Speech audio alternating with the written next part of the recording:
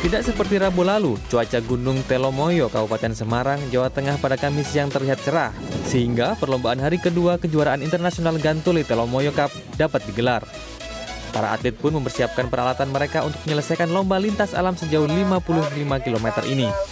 Rute penerbangan ini ditentukan menggunakan koordinat tertentu, melewati beberapa tempat ikonis di Kabupaten Semarang. Kejuaraan ini diikuti 37 atlet, dua di antaranya berasal dari Jepang. It's very good.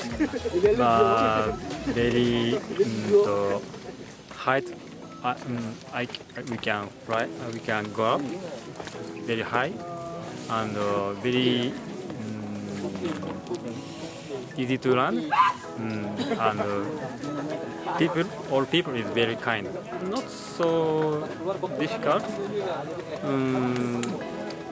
Very uh, good condition because this area is very very good condition.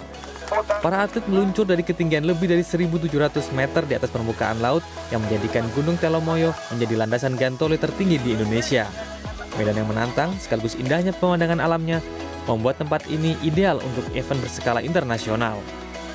Ini sudah keempat kali, diharapkan nanti kita uh, ada rencana uh, semakin kita perbesar untuk uh, kompetisinya di mana saat ini kita sudah memasuk sudah masuk ke kalender ya kalender kejuaraan dari FAI uh, di mana di sini adalah level kejuaraan level 2. Ya, kita mudah-mudahan bisa tembus ke peringkat level 1 untuk kejuaraan di FAI di mana kita juga harus menyiapkan infrastruktur yang ada.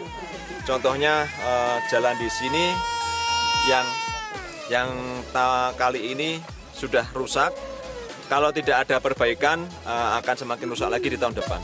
Gubernur Jawa Tengah Ganjar Pranowo yang turut menyaksikan kejuaraan ini sangat mengapresiasi penyelenggaraan kejuaraan Gantole berskala internasional di Jawa Tengah ini. Terkait infrastruktur lokasi yang belum memadai, Ganjar berjanji untuk mengupayakan perbaikan. Saya sebenarnya sudah nyiapin waktu itu hitung-hitungannya cuma 6 miliar kok. Terlalu kecil itu untuk Jawa Tengah gitu. Dan maksud saya kalau itu bisa kita support, ini tidak hanya untuk Gantole tapi untuk banyak pariwisata.